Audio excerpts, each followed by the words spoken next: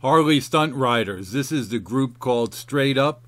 They're Harley uh, motorcycle stunt riders, and this was at the May Ride event up at Biggs Harley in San Marcos, California.